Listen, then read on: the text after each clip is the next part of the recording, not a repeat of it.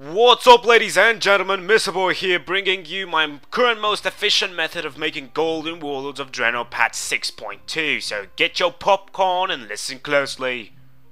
Aside the main gold making item, I'll be telling you what you can do as an extra to get even more money in your pocket, but first I'd like to present to you my garrison setup on my main character so you understand what I'll be showing you in a couple of moments.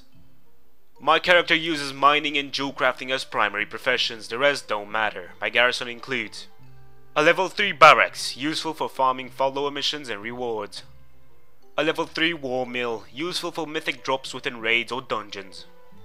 A level 3 trading post, useful for a couple of other gold making methods. Check my other videos about uh, universal language module or the Rylak egg flip for more information. Links in the description. A level 3 jewel crafting building. This one gives me a guaranteed 200 to 300 gold in a daily. Also boosts my Taladite crystal income. A level 2 soon to become level 3 salvage yard. This building is useful for sometimes giving you crafting materials, follower upgrades or even transmog greens from opening salvage received from successful follower missions. More info on how you can make gold with this building in a future video.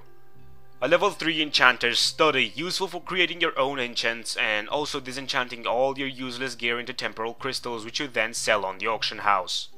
A level 3 Herb Garden, useful for keeping my herb count moderate so I can trade with a trading post whenever I need garrison resources. A level 3 Mine, useful for keeping my true iron ore and blackrock ore stock high. And finally, a level 3 Frostwolf Tavern, useful for recruiting followers with the Treasure Hunter trait, thus giving you a lot more gold from your treasure hunting follower missions. And of course, a shipyard to be able to get different resources. This method focuses on crafting one of the epic gems from patch 6.2. There are 6 different epic gems which focus on versatility, critical strike, haste, mastery, multi-strike and stamina. On most servers, including mine Draenor, the most expensive one seems to be Immaculate Haste Taladite, which ranges from 6,000 gold to 12,000 gold on the auction house. Then again, I might be wrong, so I urge you to take a quick look at your server's economy and see which gem is the most expensive. To be able to craft these gems, your character needs to have at least 600 points in jewel crafting and to be level 100. Once these two requirements have been met, a quest will be unlocked in your garrison from Gazlowe or if your alliance from Barrow select Stone Cold Gems of the Apexis. Go ahead and complete a small chain of quests, and at the end you will be rewarded with a friendly NPC that will be able to craft the gems for you. He is located to the opposite of the Flight Master at Aktar's Rise in northwestern Tanaan Jungle. You will notice however that you can only craft versatility gem for now. This is because you need to unlock the other recipes with modules that can drop from various locations. Also, to be able to effectively have enough Taladite crystals for the gem, you need to buy the primal gem cutting recipe from your ore trader in your garrison. The critical strike module drops from Shadow Lord Iskar in Hellfire Citadel. The haste module drops from High Sage Viryx in Skyreach Mythic. The Mastery module is sold by Quackenbush or Paul North for 800 gold and it requires a rank 6 within the Brawlers Guild. The Multi-Strike module is sold by the Oracle Apexis traders in Stormshield or Warspear for 3000 gold and 3000 Apexis crystals. The Stamina module drops from the world boss Rukhmar located in Spires of Arak.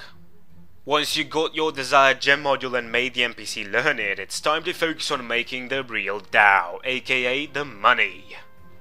I start off by completing my follower missions for the day and starting the others. I'm using the master plan add-on to make this as quick as possible. Focus on gold rewarding missions, primal spirits, Sorcerous Air or garrison resources. After that I go and reap the rewards of my herb garden and mines. With the mats collected I go and refill the work orders for herbs and ores.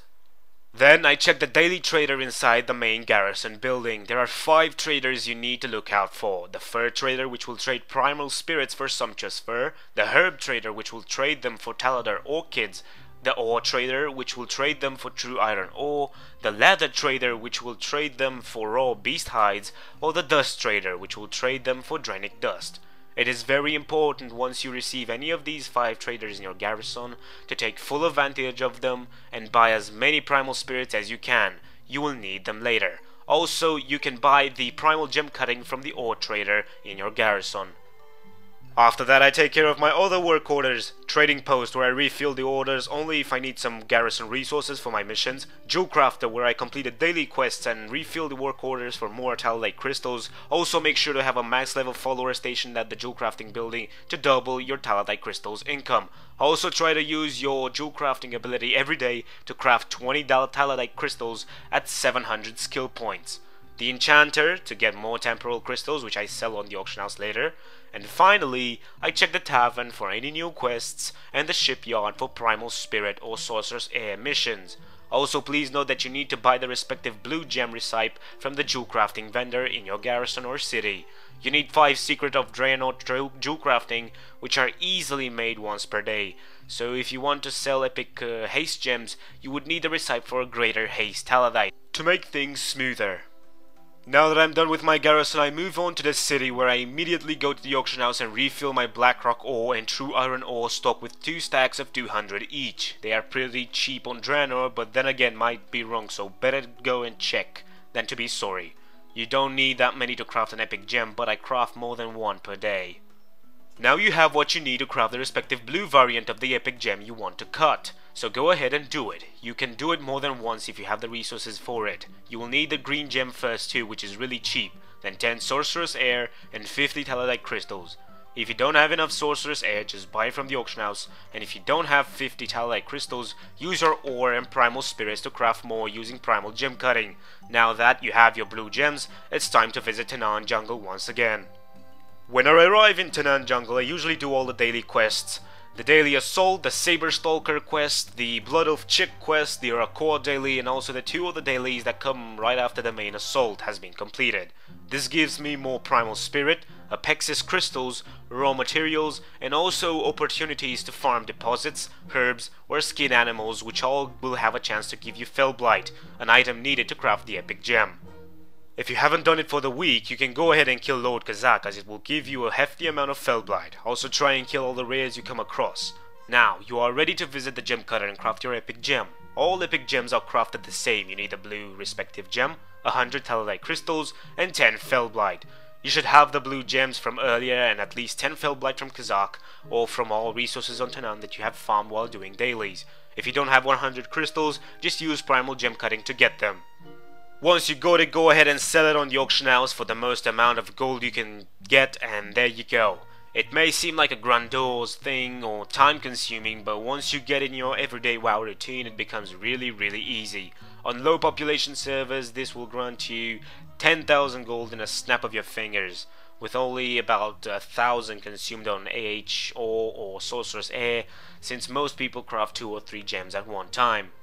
Well, this is it for this gold guide. Hope you guys enjoyed, and uh, yeah, you can consider it as my daily gold routine as well. Well, if you have any questions, leave them in the comments. Subscribe if you haven't already for more gold making videos, and I'll see you guys later. Bye.